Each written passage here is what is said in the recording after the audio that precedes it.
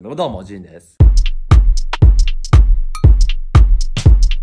えーっとですね、まあ、先日上げた動画でですね、あの、釣り人 VS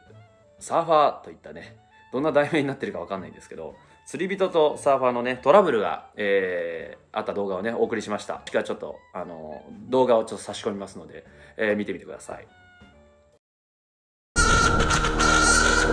あれ弱そう見に行った方がいいかな弱せるらしいはい。どうですか？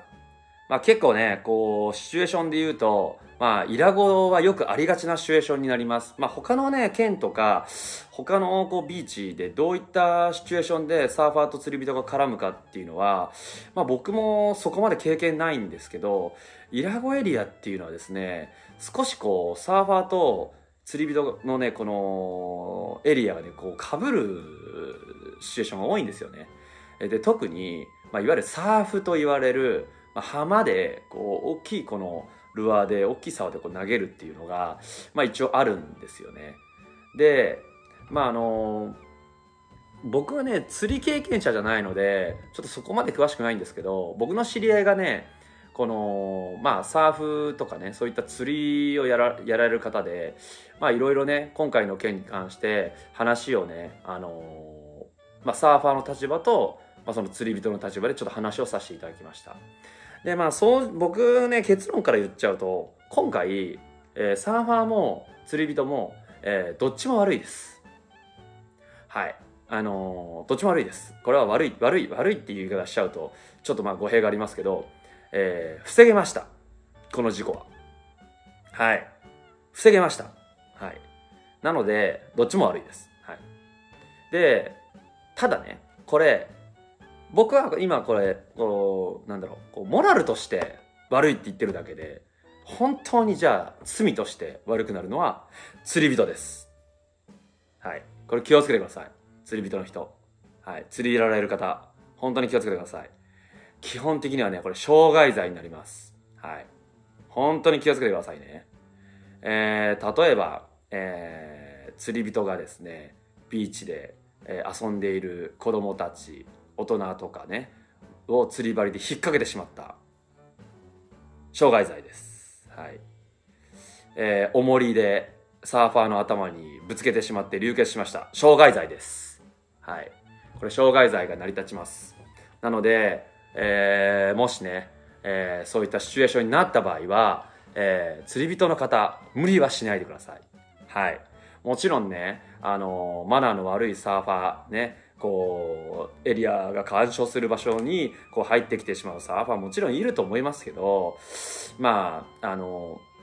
だからといって、向きになって、傷害罪で捕まってしまってはね、まあ、元も子もないので、やっぱりどっちが悪いってなった時に、自分が悪くなる方で、ね、楽しんでいるんであれば、一歩引いてほしいなと思います。もちろんね、サーファーも配慮は大事だと思いますよ。あの、釣り人に対してね。はい。まあ、今回のね、シチュエーションをちょっと細かく説明すると、まあ、あの、いわゆる、えーイラゴはですね、こう、オープンビーチといって、砂浜がズドーンと、まあ、右左に果てしなく続いてるんですけど、まあ、大体サンドバーが出てるところしか、まあ、サーフィンはやれないんですね。まあ、ほぼほぼ99%の場所はサーフィンやれません。はい。そのサンドバーがあるとこだけです。はい。もしくはインサイドのブレイク。でもインサイドのブレイクは大体この時期やれませんから、まあ、ほぼほぼ不可能ということですよね。ってなると、そのサンドバーが出てるところに釣り人も投げたいんですよ。潮目って言って潮が変わる場所なんですよね。なので、バッティングしやすいんですよね。はい。で、まあ、あのそういったポジションね。まあもちろん釣り人の人も配慮して10メーターおきとか5メーターおきにこう人が並んでるんですけど、いかんせんこの今のシーズンはね、ベイトって言って小さい稚魚がこう回ってくるんですね、周回して。そうするとそこにわーっとさ、釣り人も集まる。そして波がいいこのあのバンクがある場所はサーファーも集まるってことで人が集まってしまう。もちろんサーファーがいっぱいいるところに釣り人がいるってことはほぼないんですけど、いわゆるこの端端ですよね。サーファーがいる場所の端っこ。いわゆる釣り人からするとギリギリのないこの瀬戸際。ここが一番危険なポイント。サーフィのルールで正面からゲッティングアウトっていうのは基本的にマナー違反で周りから回り込んでいくんですよねということはこの端から回り込むんですよ波のない場所ただ釣り人はその端の波がない場所波がブレイクするこの境目がいいんですよね潮目でなのでここを狙うということはバッティングポイントはここなんですよ間違いなく密集してるところにあのルアーを投げてる人はアホだと思います。はい。ちゃんとこういったところね。うん。でまあ僕たちみたいにまあある程度ねあ釣り人がいるっていうのを分かった上であルアー投げてるな危険だなって分かってる人はねちょっとこうあラインの位置を見ながらあちょっとやべえこれちょっと来るぞみたいな感じもあれ匂わせながらこうね迂回していったりします、まあ、今回女の子女性のサーファーででまあおそらくサーフィン歴もそこまで長くないと思います。はい。熟練度が高いとは思えないと思います。はい。でサーファーはねこう僕らからすると分かるんですけど釣り人ねこれ僕あのその釣りをやってる人に言われたんですけど釣り人も熟練度があると。そう。これはねちょっと意外な盲点でした。僕はねあの浜にいる釣り人はね全員ねあのもう50センチぐらいの浜地区釣ってる人かなって思ってるんでいやそんな人じゃないんだなと思いました。もう初心者みたいな人が大半を占めていると。釣り人同士のトラブルも絶えないと言ってました。なのであの僕はですねそこがちょっと盲点でした。なので今回ちょっとねそのまあトラブルを起こしてしまった釣り人の方もニッパーさばきとかなんかトラブルになった時のこのペンチさばきがいや緊張してたのか分かんないですけどうーん下手すぎです。あんなにいいペンチ持ってるのに下手すぎです、はい、下手すぎましたね。はい下手すぎました。で僕が代わりに針外したんですけどあのー、すっごいいいペンチも持ってました。あれ欲しいです僕。あのあれあれあのワッシャー取るやつ。あめっちゃいいな。あんなえあんなのあるの？と思って。あれあったらめっちゃいいシチュエーションいっぱいあるじゃんと思って。もう釣り具合に買いに行こうかなと思いましたけどねあれ。まあまあまあ脱線しましたけど、まあ、とにかくまあ釣り人もね、まあ、初心者がいる。そしてサーファーにも初心者がいる。ということで、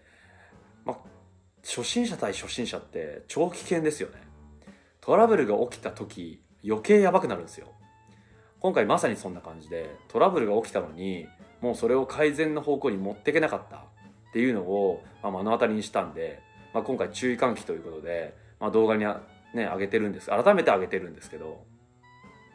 まあ、あのただねこれはやっぱり当事者同士あのもちろん気をつけなきゃいけないし海を使う人間ね僕らは海の中に入る方ですけどビーチにいる人とかねビーチに遊びに来てる人たちにもちろん、まあ、配慮しなきゃいけないかなと思います。サーファーがもつれるトラブルってそんなにないんですけど釣り人は遊んでる人とかもねいる場所でああいう鋭利なね返しのついた針を投げるのでやっぱりね後ろにも前にも注意しなきゃいけないですね僕個人的にはね後ろ本当に後ろちょっと注意してほしいです。うん。あとやっぱりこう糸とかねラインとかねああいうに絡まったり引っかかったりするんでサーファーが。見えないですからねラインはね。なのでまあ釣り人の人は本当にねあの僕嫌いじゃないんですよ釣り人の人。結構フレンドリーに話しかけたりするんで結構僕は個人的には好きなんですけどやっぱり嫌な思いしてる人はね釣り人に嫌悪感抱いてる人いるので、まあ、もちろんねサーファーを嫌悪感抱いてる人もいると思うんですよね。ただ同じ海を使うねこう人種なのでなのでまあうまくやっていきたいなとは思いますけどやっぱりこう連盟とか団体海を使う団体っていうものが別にあるわけじゃないのでなのでまあそこは本当にただ単にモラルとマナーを守るだけかなと思います、はい、でサーファーって結構少ないんですけど釣り人ってめっちゃタバコ吸う人多くて吸い殻とかねゴミのやっぱ産卵ってね結構ねまあビーチクリーンしてる釣り人の人あんま見たことないですけど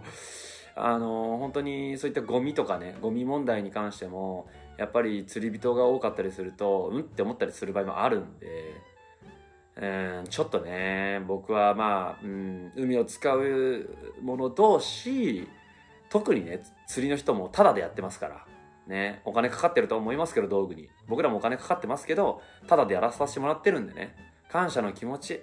ね、そこだけ忘れずに、まあ、海でのレジャーね、楽しんでいきたいなと思います。なのでね、皆さん、怪我がないように、イラゴに来る際はね、釣り人、ちょっと気をつけてやってみてください。はい。ということで、今回、こんな感じで動画終わります。皆さん、ね、今回怪我した方、そして怪我させてしまった方ね、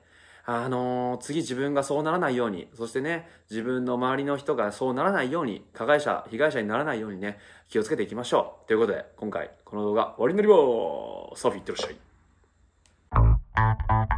い。